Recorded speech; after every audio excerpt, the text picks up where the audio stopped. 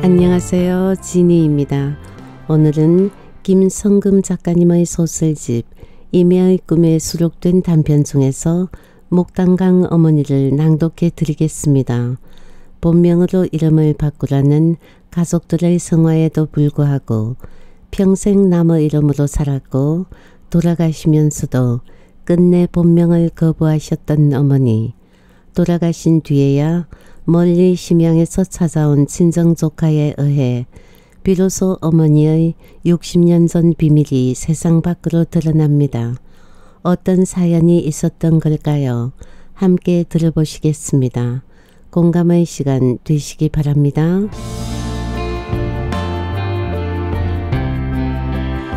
목단강 어머니 지연이 김성금 어머니가 세상을 떠났다.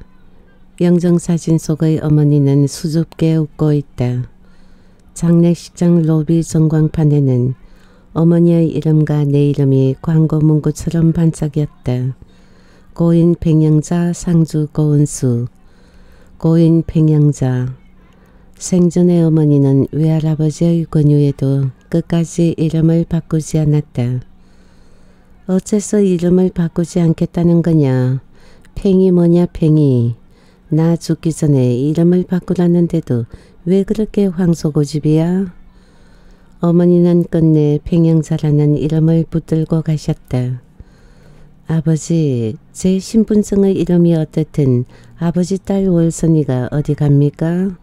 이름 바꾸려면 이것저것 신고도 해야 할 거고 저는 복잡해지는 게 싫어요. 외할아버지가 돌아가신 지도 20년이 지났다. 며칠 전에는 내가 어머니께 말씀드렸다. 어머니, 비석에는 김월선이라고 어머니 본명을 새기면 어떨까요? 어머니는 고개를 가로저었다. 아니다. 그대로 평형사로 죽겠다. 관뚜껑에도 그렇게 써다오. 묘를 쓸 필요도 없어. 화상에서 강물에 뿌려다오. 훨훨 날아서 목단강에 가고 싶어. 어머니는 가래가 끓는 사이사이로 한마디씩 하고는 기진맥진했다. 가슴에 귀를 기울이지 않으면 들리지 않을 만큼 작은 목소리였지만 고집은 여전했다.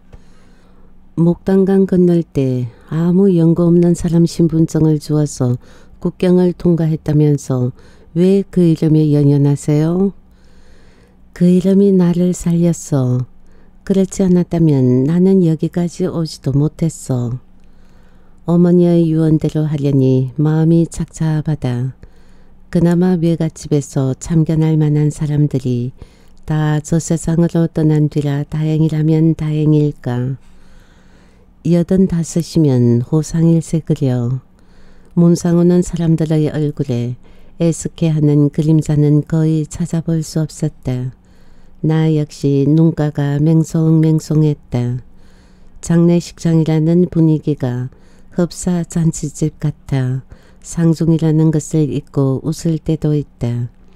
어렸을 때 함께 살았던 집주인이 왔는데 나는 어이없게도 안녕하세요 라고 인사를 했다. 그분도 별일 없지 라고 물으며 접수대로 간다. 습관이 참 무섭다. 옆에 있던 아내가 옆구리를 찌르며 주의를 주었다. 옆의 사모 상청은 어수선하다. 경찰관이 왔다 가고 지나가는 사람들이 영정에 대고 손가락질을 하며 소곤거렸다. 저 사람 오늘 뉴스에 나온 사람 맞지? 가족들은 머리를 맞대고 경찰관이 놓고 간 종이 뭉치를 들여다보고 있다. 무슨 일이래요? 노인이 접수대에 앉은 남자에게 묻자 사람들의 시선이 그 남자의 입에 일시에 꽂혔다. 나도 역시 그쪽에 귀를 기울였다. 오늘 신문 못 보셨습니까? 두 집 살림을 했는데 내연의 여자가 쳐들어와서 본부인과 육박전을 벌였답니다. 중간에서 말리다가 뒤로 잡았었는데 고인이 됐다 안 합니까? 사모의 부인은 웃옷을 벗어 던지고 내복 차림이다. 얼핏 보면 덩치 큰 사내 같다. 고인의 시신은 사인을 조사받기 위해 국립과학수사연구소에 들어갔다. 여자 둘 사이에 끼어 재미 보다가 막판에는 그런 우세스런 일까지 겪고 이제 부검까지 당하는 남자는 얼마나 기가 막힐까. 연신 손바닥으로 부채질을 하던 부인의 동작이 멎으며 눈이 커졌다. 뒤쪽에서 수렁거리는 소리가 들렸다. 비켜요 비켜. 사람들 사이를 비집고 이동 침대가 이쪽을 향해 빠르게 달려왔다. 흰 천을 뒤집어 씌운 것을 보니 시신인가 보다. 사람들은 가는 비명을 지르며 옆으로 비껴섰다. 나도 뒷걸음질을 쳐 벽에 바짝 붙어 섰다. 사모 부인은 시신을 안치해 놓은 방을 향해 맨발로 달려간다. 가족들이 따라 들어가고 이제야 그 남자의 염을 할 모양이다. 출입 통제라고 쓴 젊은이 쾅 소리를 내며 다치는데 사람들이 다시는 그 철문을 열고 나올 것 같지 않게 으스스하다. 엊그제 아들 출가시켜서 신혼여행 갔다 아닙니까? 서로 자기 아들이라고 싸웠답니다. 접수를 보는 남자가 부의금을 세다 말고 한마디 거들고는 다시 나머지 돈을 헤아렸다. 사람들은 그 남자의 침착한 손놀림을 멀뚱히 바라보았다. 그렇다면 낳기는 내연의 여사가 낳았구먼 본부인 아들로 호적에 올려 키웠겠지. 예전에는 그런 일이 많았지. 호적이 별거 아닌 것 같아도 본부인을 당당하게 만들기는 하지. 이웃들은 그 싸움의 이유를 알겠다는 듯이 고개를 끄덕였다. 흰 가운에 얼굴이 불쾌한 남자가 철문 밖으로 나와 엄숙하게 말한다. 팽영자님 유족들은 들어오십시오. 출입 통제라고 쓴 철문을 열고 들어갔다. 냉동칸에는 이름표가 쭉 붙어 있다. 그 안에 시신이 열구도 넘게 들어있다고 생각하니 머리끝이 쭈뼛하게 일었었다. 검붉은 얼굴의 남자와 키가 좀 작은 남자가 팽영자의 이름표가 붙은 냉동칸 서랍을 잡아당겼다. 팽영자, 돌아가신 후에라도 당신의 이름을 찾아드리고 싶었는데 그들은 어머니의 시신을 들어올려 스테인리스 널 위에 내려놓았다. 옥색 한복을 받쳐 입은 어머니는 자그마한 마네킹 같았다. 두 남자는 시신을 사이에 두고 우리 가족과 마주섰다. 그때 문이 삐걱 열렸다. 무섭다고 도리질하던 며느리 경미가 들어오려나 모두들 소리가 나는 속으로 고개를 돌렸다. 뜻밖에도 백미숙이 서 있다. 아이들이 불편한 눈빛으로 그녀를 바라보았다. 나는 그녀가 곁에 설 수 있도록 한 발짝 옆으로 비껴섰다. 고모를 찾겠다고 심양에서부터 왔다는데 나가라고 등 떠미는 건 너무 야박하지 싶었다. 며칠 전 그녀가 동사무소를 통해 연락을 해왔을 때 참으로 난감했다. 백영자 시댁이냐고 묻더니 그분의 조카인데 대뜸 만나고 싶다는 것이다. 아버지 함자가 고연달 씨 맞디요?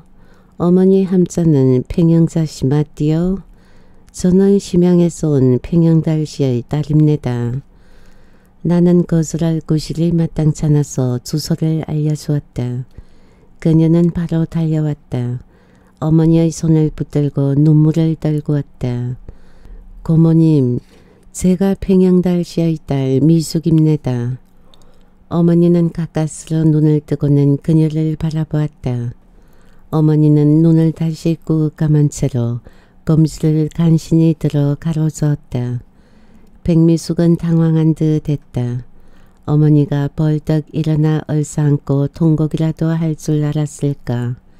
그녀는 어머니의 손을 꾹꾹 주물렀다. 어머니의 입술이 달싹였다. 그녀의 손길은 어느새 다리 쪽으로 내려갔다. 다리를 주무르며 집안을 휘휘 둘려보더니 한숨을 쉬었다. 그녀의 눈길을 따라 나도 살림살이를 살폈다. 초라한 살림살이가 부끄러웠다. 가져온 거 주십시오. 검붉은 얼굴의 사내에게서 술 냄새가 났다. 조금 불쾌했지만 맨정신에 이런 일을 하기도 힘들겠거니 생각하고 접어두었다. 아내가 보자기에 싼 작은 상자를 건네주었다. 그것은 10년 넘게 어머니의 장롱 위에 얹혀있던 수위였다. 그들은 어머니의 시신을 이리저리 돌리며 인형을 다루듯 능숙하게 옷을 벗겼다. 청상 과부의 몸으로 80 넘게 수절한 몸이 한낱 아무것도 아닌 무정물이 되어 벌거벗겨지는 모습에 나는 고개를 돌렸다. 바쁠 텐데 왜 또 왔어? 창피하겠으리. 나 죽거든 오라니까. 죽지 않은 것이 몹시 죄스러운 듯 손자 손녀를 바로 못 보고 고개를 돌리던 어머니. 그런데 어머니는 평안한 표정으로 외간 남자들에게 몸을 맡기고 있다. 상자 속의 수위는 속옷과 겉옷이 한데 붙어 있어 단번에 입히도록 되어 있다. 부끄러움을 줄이려고 그렇게 주문했을 어머니의 마음 씀씀이가 느껴졌다. 어머니는 내가 다섯 살 때 과부가 되어 그 숱한 세월을 나 하나만 바라보고 사셨다. 원래 어머니 연세는 80세인데 호적에는 다섯 살이나 늘어나 있다. 어머니는 목단강을 건널 때 평영자라는 사람의 신분증을 갖고 남아있는데 그걸 그대로 호적을 만들었기 때문이다. 본인의 이름을 기록으로 남기게 되면 잡혀갈 수도 있었기 때문에 그렇게 다른 이름으로 여기까지 온 것이란다. 나는 그때 첫돌을 지낸 갓난아기였단다. 원래 어머니 이름은 김월선이다. 큰 이모님이 만날 때마다 일러주셔서 알게 되었다. 이모님들 이름이 손자 돌림인 것을 보면 맞는 말인 것 같다. 게다가 얼굴 모습이 그야말로 붕어빵이다. 이산가족 상봉에 나오는 사람들처럼 몇십 년씩 헤어져 다른 환경에서 살았는데도 똑 닮은 모습이다. 무슨 연유가 있는지는 모르지만 남의 신분증을 들고 국경을 넘었다고 한다. 그때가 일제강점기니까 아마 어머니는 독립군을 돕는 일을 하지 않았을까 추측할 뿐이다.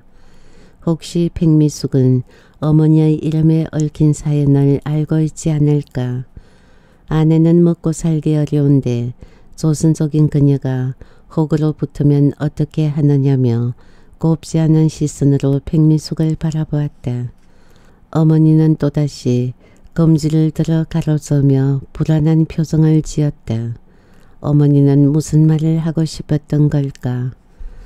아버지 함자는 맞는데 어머니의 본래 성함이 아닙니다. 그러니 댁의 고모도 아니지요. 나는 그렇게 정중하게 말해서 그녀를 떼어버리려고 했다. 그런데 여기까지 찾아온 이유가 뭘까? 어머니가 팽영자가 아니라는 사실을 알고도 찾아온 걸 보면 무슨 속셈이 있는 게 분명했다. 떠나기 전에 여비 줄 사람은 노시오. 나와 아들 그리고 백미숙이 어머니의 가슴에 돈을 얹었다. 머리를 싹싹 빗기는 사내의 손에 새삼스레 정성이 들어가는 듯 보였다. 작년부터 흰머리 속으로 검은 머리카락이 돋아난 어머니의 머리카락은 회색빛이다. 사내의 손길을 따라 빗자국이 선명하게 난 어머니의 얼굴은 산뜻해 보였다. 어머니가 벌떡 일어나 산책이라도 가자고 할 것만 같다. 어머니가 눕기 전까지 우리는 늘 공원에 산책을 가곤 했다. 내가 팔짱을 끼면 참 좋아하셨다. 몇 번의 고비를 넘기고 겨우 천국에 도착했을 텐데 백미숙이 살며시 다가가 어머니의 손을 쥐었다 놓았다. 그리고는 손수건으로 입을 틀어막고 어깨를 들썩였다. 참 이해할 수 없는 여자다. 살으신 것 같습니다. 어쩜 손이 이렇게 보들보들합니까? 어머니가 세상을 떠나기 전날이었다. 백미숙을 향한 그 손가락의 의미는 무엇이었나. 우리는 어머니의 팔과 발을 계속 주물러 드렸다. 바짝 마른 데다 손과 발만 퉁퉁하게 부었다. 발을 주무르는데 찬 기운이 내 발톱까지 뻗쳐올라 썸뜩한 기분이 들었다. 이미 하체 쪽은 피돌기를 멈추었던 모양이다. 그런데도 그렇게 정성껏 주무르던 그녀였다. 고모님 힘드시지요? 어머니는 입을 꾹 다물고 고개를 돌렸다. 하지만 큰딸의 말에는 반응을 보였다. 할머니, 애비 위에 기도해 주어서 고마워요.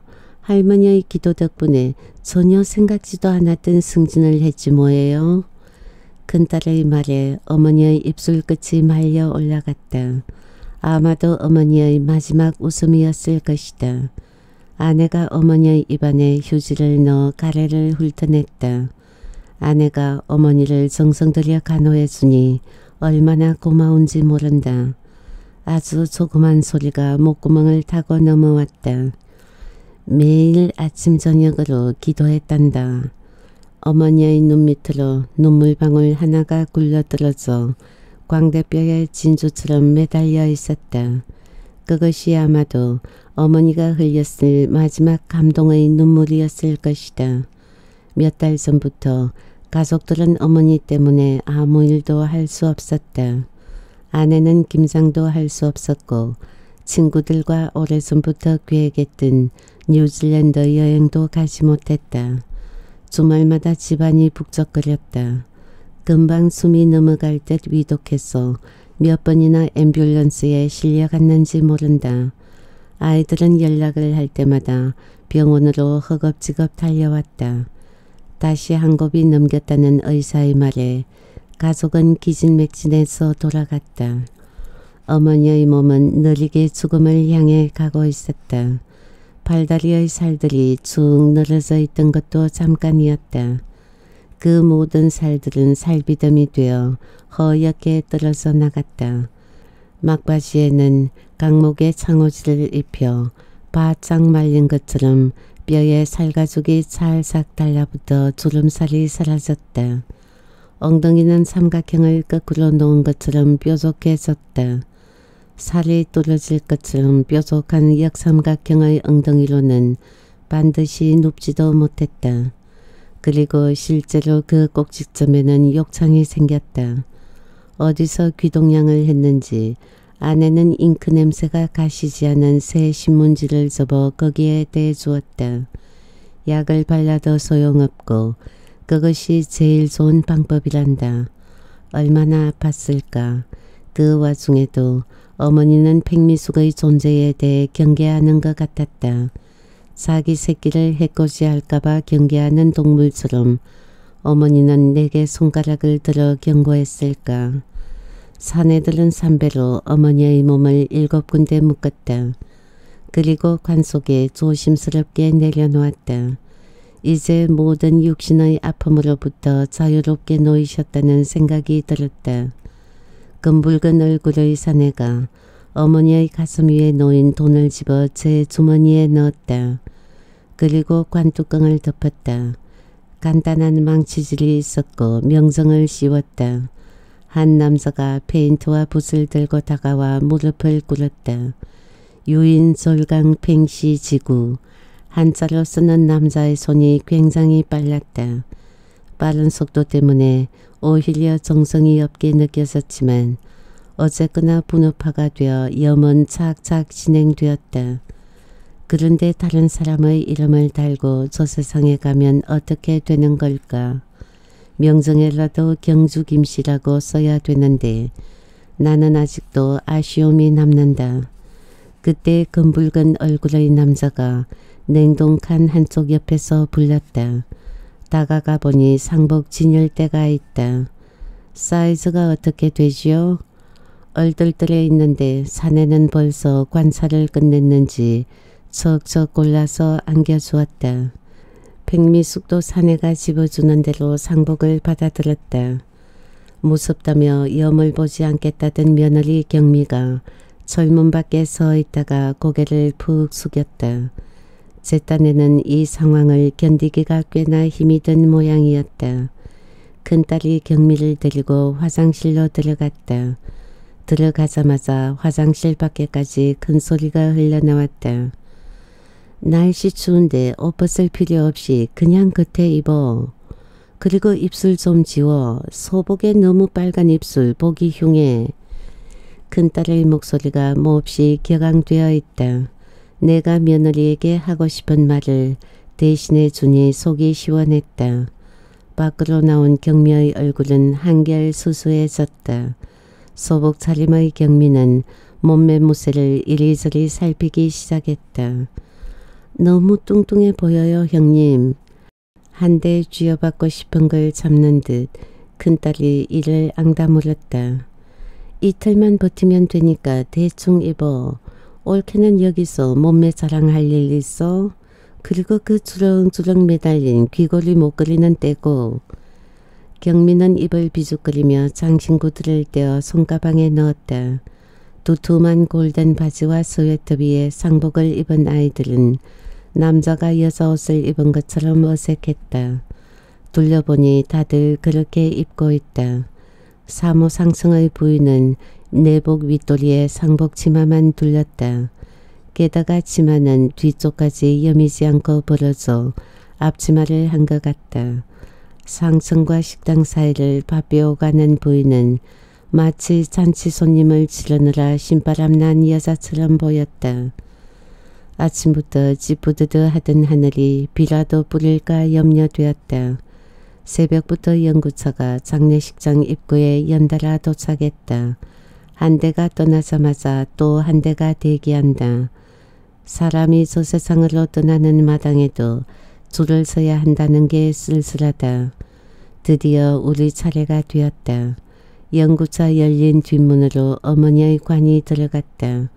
발인세를 들릴 때도 나는 멍하니 서 있다가 아내가 허리를 쿡 찌를 때에서야 아이고 하며 마른 곡소리를 내었다. 처음 맞는 초상이고 생전 보지 못했던 일이라 모두들 어찌해야 할 바를 몰라 우왕좌왕이다. 엎드려 눈물을 흘리다 말고 내가 내지른 하이고 소리에 경미가 기들거렸다. 앞자리에 엎드려 있는 아내의 어깨도 들썩거렸다. 발인제가 끝나고 연구차의 뒷문이 닫히자 가슴이 먹먹했다. 그런데 갑자기 경미가 연구차의 뒷문을 두드리며 통곡을 했다. 가족들은 당황했다. 뒤에 서 있던 백미숙은 경미의 모습에 손수건을 꺼내 다시 눈가를 문질렀다. 평소에 경미의 철없는 행동에 어머니는 소리내어 웃곤 하셨다. 진지함이나 고뇌 따위는 없는 그녀의 단순함을 비웃으면서도 우리는 경미를 편하게 대했다. 큰딸이 얼른 경미의 손목을 잡아챘다. 경미는 눈물로 얼룩진 얼굴을 손등으로 문질렀다. 어머 영화에서 보니까 이렇게들 하던데요. 뒤에 섰던 전문객들이 손수건을 주머니에 넣으며 웃었다. 아들이 눈살을 찌푸리며 흘겨보았다. 아유 창피해. 너는 도대체. 연구차에 올라타자 긴장이 풀리며 눈물이 솟았다. 평소에 낙천적인 나는 죽음에 대해 깊이 생각하지 않았다. 어쩌다 초상집에 갔을 때도 그 자리에서야 주거니에 대해 애도하지만 집 앞에서 굵은 소금 세례를 받고 나면 곧 잊었다. 그런데 어머니가 돌아가시자 어찌할 바를 모르겠다. 어떻게든 침착하려 했었지만 가슴께가 뻐근하게 아파왔다. 앞좌석에서 왁자지껄 노래소리가 흘러나왔다. 호상이니까 괜찮아요. 노래하면서 갑시다. 사람들은 우리가 앉은 뒷좌석을 향해 허락을 구했고 아내는 마지 못한 듯 고개를 끄덕여 주었다. 나는 조금 거부감이 일긴 했지만 잠자코 있었다. 큰딸에게 핀찬을 들은 경미는 무슨 생각에 잠겨 있는지 고개를 푹 숙인 채 가만히 있다. 고향이 그리워도 못 가는 신세. 사람들은 노래에 맞춰 박수를 쳤다. 나는 그 노랫말에 또 눈시울이 뜨거워졌다. 어머니는 중국에서 고향을 찾아왔다. 중국 목단강을 넘어왔다는 말을 몇 번이고 들었다. 하지만 목단강이 어디에 있는지도 모른다. 중국 여행 시켜드린다고 해놓고 한 번도 보내드리지 못했다. 지금은 중국에서 조선족들이 많이 들어와 있다. 목욕탕이나 장례식장, 병원에서 도우미로 일하는 목단강 사람들을 가끔 만난다. 내 뿌리를 만난 것 같아 반가웠다. 목단강에 다시 가보지 못하고 한숨새가 되어야 하는 어머니의 신세가 가엾다. 눈물을 훔치고 고개를 들었다. 이게 웬일인가. 경미가 박수를 치며 노래를 따라 부르고 있다. 큰딸이 얼른 옆구리를 찔렀다. 이번에도 자기가 무슨 잘못을 했는지 모르는 표정이다. 뽀얀 얼굴로 나를 말끄러미 바라보았다. 조문객들은 우리를 위로하느라 노래를 한다지만 자네는 도대체 생각이 있는가 없는가? 큰딸이 점잖게 타일렀다. 어머 그런 거예요? 경미는 해숙이 웃으며 또 고개를 푹 숙였다. 결혼한 지 얼마 안 되었으니 시할머니에 대한 애절함을 바라는 게 무리겠지. 어머니도 손자 며느리가 억지로 슬픈 얼굴을 하는 것은 원하지 않을 것이다. 경미는 어머니와 오래도록 얘기를 잘 했었다. 어머니는 그 삭정이 같은 발목을 들어 경미의 손을 끌어쥐곤 했었다. 할머니, 명수 씨가 어제 친구들하고 놀다가 들어오지 않았어요. 그렇게 큰 소리로 이르면 어머니는 잘 돌아가지 않은 혀를 차며 경미의 손등을 툭툭 두드려 주곤 했었다. 연구차에 가족이래야 몇 되지 않았다. 백미숙은 끝까지 함께했다. 연화장으로 들어서자 안내원은 이호실을 손가락으로 가리켰다. 그곳으로 들어가 간단하게 죄를 지냈다. 국가 고송이를 떼어 한 사람씩 한 사람씩 관 앞으로 다가가 마지막 인사를 하고 관 위에 꽃송이를 놓았다. 하얀 꽃송이가 가득 얹힌 가운데 네모난 상자가 꽃 수술처럼 박혀 있다. 그 상자에 어머니의 유골이 담길 거라고 생각하니 또다시 코끝이 찡해온다. 무빙워크에 올려진 관이 움직이더니 철문 안으로 미끄러져 들어갔다. 그리고 철문이 닫히자 심장이 툭 떨어지는 듯 했다. 목을 때를 치받고 올라온다. 요단강 건너가 만나리 요단강 건너가 만나리 옆의 1호실에서 찬송이 울려 퍼진다. 그들의 음성도 울음이 복받쳐 고르지 못하고 떨린다. 할머니 하늘나라 가시는 길에 엄마 관절염 좀 가지고 가세요. 목단강을 만나면 던져버리고 가세요. 큰딸의 말에 어머니는 그날 고개를 여러 번 주워 끓였다. 어머니가 한숨제로 변하기 위해서는 두 시간의 기다림이 필요했다. 찌뿌드드 하던 하늘에서 흰 눈이 풀풀 날린다. 강물이 오염되기 때문에 어머니의 뼈가루는 강에 뿌리지 못했다. 정해진 장소로 가서 커다란 항아리에 쏟아부었다. 어머니의 뼈가루는 다른 사람들의 것과 섞여서 바닥에 먼지처럼 떨어졌다.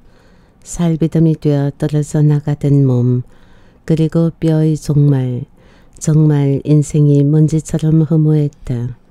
어머니의 소원대로 어머니의 영혼만은 훨훨 날아 목단강으로 가셨으면 좋겠다.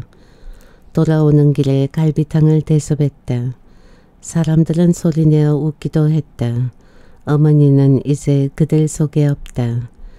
경제도 어렵다는데 나라 돈을 너무 써서 미안하지. 나 한 사람이라도 죽으면 그만큼 나아지겠지. 어머니는 119 차에 실려갈 때마다 드는 비용도 모두 나라 돈이라며 미안해했다. 역시 우리 할머니는 애국지사였나 봐요. 이렇게 나라 경제를 걱정하시는 것을 보면 우리들은 모두 어머니를 존경했다. 백미숙은 장례를 마친 뒤에도 할 이야기가 있다며 집으로 따라왔다. 우리는 방 두 칸짜리 작은 연립주택에 살고 있다. 도대체 무슨 할 말이 있어서 따라붙는 걸까? 그녀는 들어오자마자 집을 휙 한 바퀴 둘러보더니 또 한숨을 내쉬었다. 버릇인가 아니면 부의금 받은 게 있으니 돈을 빌려달라고 부탁을 하려는 걸까. 나도 모르게 경계를 하게 된다. 오라버니도 어렵게 사십니다. 그녀는 한국에 와서 먼저 온 조선족 언니를 따라 장례식장에서 일하고 있단다. 한국에 들어와 그럭저럭 끼니 그러지 않고 사니 신경 쓰지 말란다. 나는 생각을 들킨 것 같아 못 적었다. 백미숙을 향해 식구들이 모두 둘러앉았다. 그녀는 가방을 뒤적이더니 누른 봉투를 꺼냈다. 실은 땅 문서를 개지고 와시오. 덕소에 있는 땅입니다. 모두들 의아스럽다는 표정으로 백미숙을 바라보았다. 나는 그녀에게서 누른 봉투를 받아들였다. 이게 무슨 일인가. 잠시 동안 많은 생각들이 머릿속에서 두른거렸다. 누른 봉투에서 서류를 빼내었다. 문서는 누렇게 바래었고 글씨는 세로로 휘어져 있다. 팽재중이라는 이름이 적혀 있다. 이 사람이 누굽니까? 우리 할아버지 입니다. 그런데 이 넓은 땅에서 우리는 어떻게 찾았지요? 지금이 무슨 시대입니까? 정보시대라요. 고모부 이름 고현달, 고모 이름 팽영자. 그거이 그렇게 흔한 이름이 아니디요. 아버지가 남조선에 가면 꼭 찾아뵈라고 했시오. 지방자치단체별로 조상 땅 찾아주기 서비스가 있다는 말을 들은 적이 있다. 일제강점기에는 농토를 버려두고 만주로 옮겨간 사람들이 많았다. 소작을 쓰고 떠났다는 말은 들었지만 그 땅이 어디 있는지 생각도 하지 않고 살아왔다. 내가 고연달 씨의 아들은 맞지만 어머니 본명은 김월선이요. 어머니는 목단강을 건널 때 무슨 연유인지는 모르나 팽영자라는 사람의 신분증을 가지고 내려왔답니다. 전번에 말씀드렸을 텐데요. 그게 중요한 게 아닙니다. 어찌 되었든 서류상으로는 오라버니가 팽영자 고모의 아들로 되어 있지 않습니까? 아버지는 심양에서 사시다 몇 해 전에 돌아가셨어요. 땅을 찾게 되면 오라버니에게도 나눠드리겠습니다. 저도 어차피 오라버니가 없으면 땅을 찾지 못합니다. 서류상 하자가 없으니 땅을 찾읍시다. 1950년 3월 24일 농지개혁으로 92%가 자작화되었다고 한다. 일부가 남아있는 모양인데 그걸 노리는 사기꾼들이 있다는 기사를 읽은 적이 있다. 나는 백미숙이 혹시 그런 사기꾼이 아닐까 의심이 들었다. 이 여자가 백미숙이라는 것도 믿을 수가 없다. 사망자의 재산 상속인만이 열람할 수 있답니다. 사망 신고가 등재된 호적 등본과 인감증명, 인감도장을 가지고 가야 합니다. 빨리 찾지 않으면 영영 못 찾게 될지도 모릅니다.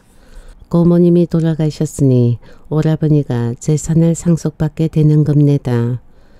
이 땅문수를 진작 찾았더라면 그렇게 가난한 세월을 살지 않아도 되었을 텐데 외할아버지와 처음 상봉했을 때 내 나이가 여섯 살이었다. 어머니는 1948년에 한국에 돌아왔지만 차마 가족을 찾아갈 수 없었다. 차일필 미루다가 얼마 안 있어 6.25 전쟁이 터졌다. 촌천 외가에 찾아갔더니 집이 텅 비어 있었다. 기둥에 탄피가 박혀 있고 지붕이 뚫려 있었다. 그래서 부모님은 나를 업고 또다시 떠돌았다. 전쟁통에 외갓집 식구들은 경상북도 영천까지 피란을 갔었다고 한다. 그러니 만날 수가 없었던 모양이다. 몇 년을 떠돌아다니다가 아버지가 돌아가시자 더 이상 살 수 없어 다시 춘천으로 돌아갔다. 그제야 가족 상봉이 이루어진 것이다. 외할아버지가 마루바닥을 치며 호령하던 일이 떠올랐다. 어디서 거지같이 살다가 이제서 돌아왔느냐. 이 아이는 어느 놈의 씨냐. 혹등이가 달렸으니 젊으나 젊은 것이 정상으로 살아야겠구먼. 그런데 백미숙은 왜 이제야 나타난 걸까? 아무래도 그녀를 믿을 수가 없다. 그렇다고 서류상 하자가 없는데 포기할 일도 아니었다. 백미숙과 나는 노랗게 바랜 서류를 들고 남양주 시청을 찾아 나섰다. 담당 직원에게 그 땅에 대해 문의했다. 땅 문서에 적힌 대로 팽재중 씨 이름으로 등재되어 있다. 시청 직원은 지적도와 관련 서류들을 살펴보더니 그 땅이 수용 대상 부지라고 했다. 그곳에 지금 근린 공원을 조성하려고 하는 중입니다. 수용하려는데 소유자가 나서지 않고 있었지요. 잘 됐네요. 얼마 정도 보상이 나옵니까? 백미숙이 나서서 묻고 나는 멀뚱히 그녀의 얼굴을 바라보았다. 3,300제곱미터니까 꽤 될 겁니다. 나는 입이 다물어지지 않았다. 천평의 땅을 찾기 위한 절차는 복잡했다. 백미숙과 나는 필요한 서류를 만드느라 자주 만났다. 그 과정에서 어머니의 실제 이름이 밝혀지면 어쩌나 마음이 불안했다. 몇 달 후 보상이 결정되었으니 나오라는 전화가 왔다. 직원에게 연락이 왔다고 하니 백미숙은 한 걸음에 달려왔다. 심양의 어머니와 통화를 하겠단다. 아내가 백미숙에게 전화기를 밀어주며 말을 꺼냈다. 혹시 심양에 계신 어머니가 고모에 대한 사연을 알고 있지 않을까요? 백미숙이 내 의견을 묻는 듯 나를 쳐다보았고 나는 고개를 끄덕였다. 그녀는 전화기에 대고 목소리를 키웠다. 상대방 귀가 어두운지 백미숙은 몇 번씩 반복해서 소리를 질렀다. 어머니 다 잘 되었어요. 그런데 여기 고모님 실제 이름이 팽영사가 아니랍니다. 목단강에서 나올 때 죽은 사람의 신분증을 얻었다고 합니다. 수화기 밖으로 노인의 목소리가 새어나왔다. 그렇다면 고모가 목단강에서 죽었다는 얘기냐? 그때 수화기를 들고 있던 백미숙의 눈은 점점 커져만 가고 나는 목이 말라 물을 벌컥벌컥 들이켰다. 통화를 마친 그녀의 입술에서 무슨 비밀이 터져 나올까 긴장이 되었다. 목단강을 건너 고향으로 가겠다고 나설 당시 고모 고모부 그리고 돌진한 아들과 아기 보던 처녀가 있었답니다. 아마도 목단강을 넘을 때 고모에게 무슨 병고가 생겼나 봅니다. 그 처녀가 고모의 신분증을 들고 넘어온 모양입니다. 그 아이 보던 처녀 이름이 김월선이었답니다. 나는 눈앞이 어찌랬다. 목단강에서 팽영자는 죽고 아버지와 김월선이 나를 데리고 목단강을 건넜다는 건 무엇을 뜻하는 걸까? 경미가 가족들을 번갈아 보더니 기어코 방바닥을 두드렸다. 할머니가 그때 함께 내려왔다는 아이 보던 아가씨였단 말이네요. 그런 팽영자라는 이름이 아무 연관없는 이름이 아니었군요. 아버님을 낳은 진짜 어머니셨네요. 아내가 경미를 나무랐다. 어디에서 무슨 일을 하며 살았는지 베일에 감춰져 있던 어머니의 과거가 벗겨지는 순간이다. 국경에서 붙들리면 총살감이라 다른 사람의 신분증을 갖고 왔다고 했었다. 그래서 어머니가 정치적인 일에 연루되었나 보다고 생각했다.